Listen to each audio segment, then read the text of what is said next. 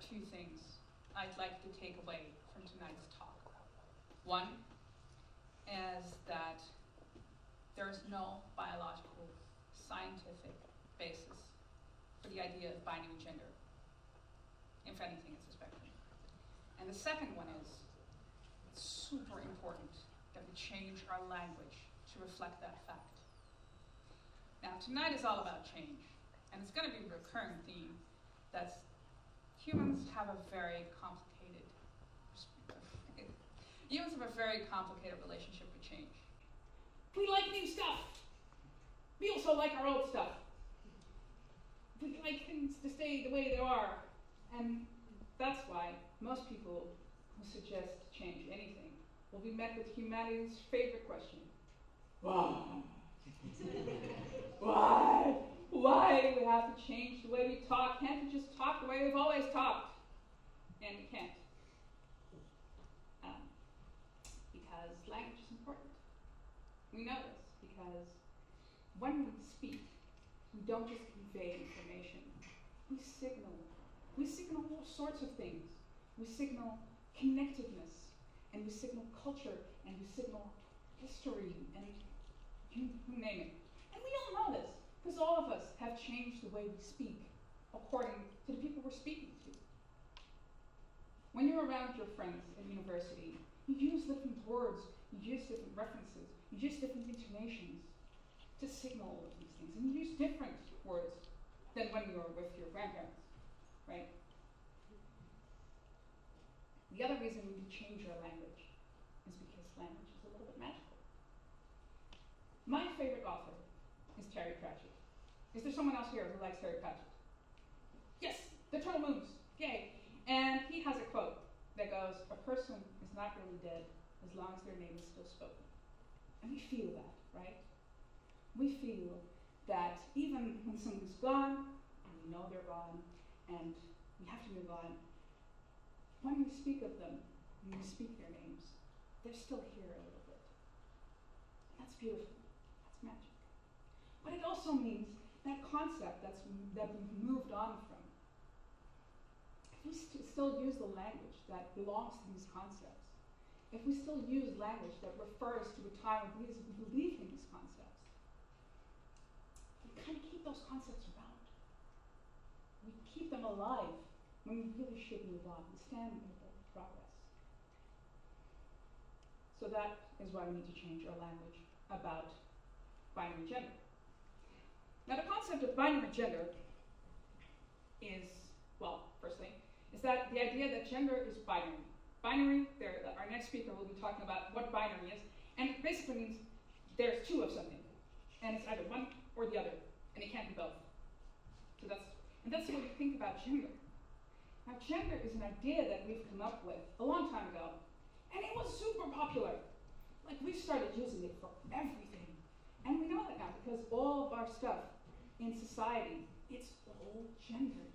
Haircuts, shoes, outfits, jobs, the way we relate to someone, it is all gendered.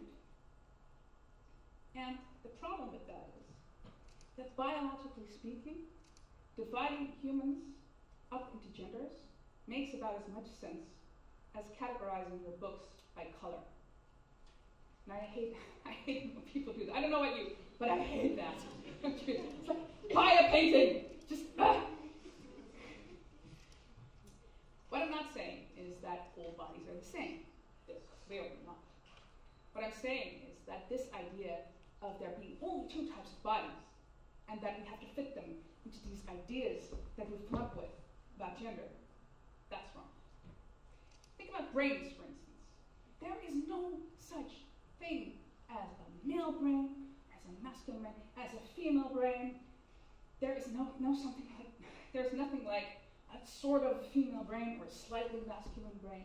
It's, it's, the brain is not a gendered thing, like so many things in society. The brain is not gendered. I'm a neurobiologist myself, believe me, but there's also, because uh, if the brain was gendered, we'd be able to tell from brain scans whether someone, uh, whether the subject is male or female, right? And because we've always divided people up in those two groups, we've been finding all these gender differences. But if you just take the brain scans and you stick them into a computer and you let the computer guess just based on function and connectivity uh, whether the subject that the brain belongs to is male or female, it can't do it. Like if you correct for uh, body size, of course a larger body will have a larger brain, um, basically it can't do that. It doesn't do better than change. And this has been done recently. We're, we're finding this out now. Like all of our neurobiology studies are doing this now, where we're just looking at the brains themselves and not really putting them into the different categories. And we're finding that there is nothing there. Like there was a talk of the corpus callosum being a thing, like the connection between the two brain halves, that that was like larger in women, I believe. That's all debunked. Like none of that is true. So the brain is really like any other organ. We don't have a female liver, right? We don't have a male arteries or something like that. So the brain is just an organ.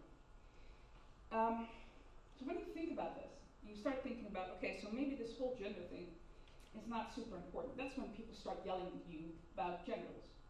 Now, I like yelling about genitals as much as anyone else. right? It's a fun thing to do. Um, but really, and I mean, it's true. Like, there are kind of more or less two sets of genitals. Is, and there, there's a bit of a spectrum there. But yes, that's, that is definitely the case. But the only thing that is important for is the whole procreation bit. Like if you want to make a baby, you probably need both of them and they probably need to be functioning. That's about it. Like that's the only thing genitals are important for.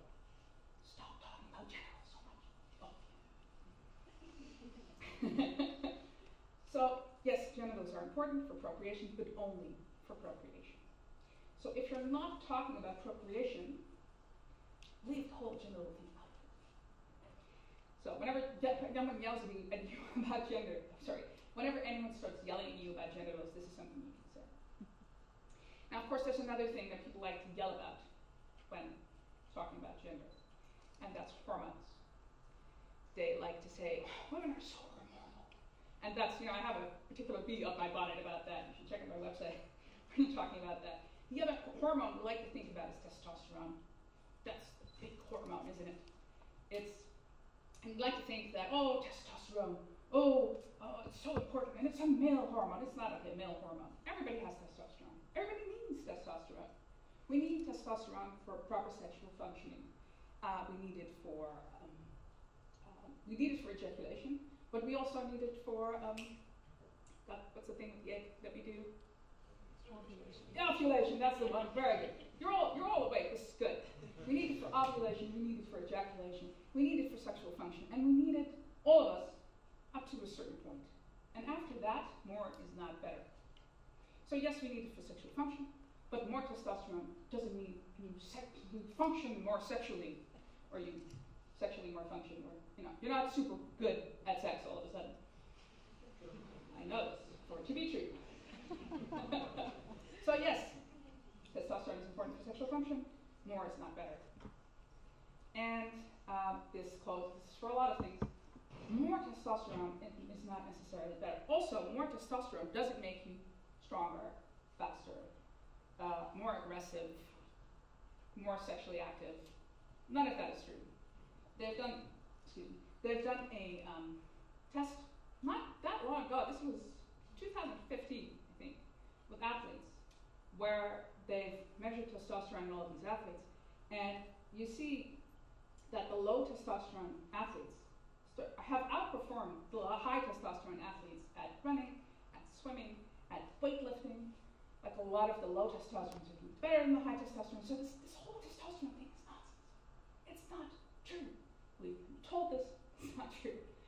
Um, the other thing about testosterone people like to say is it makes you more aggressive.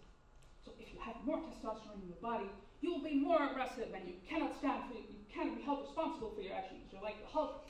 You just rip your pants, all that. You end up in five movies with Captain America. um,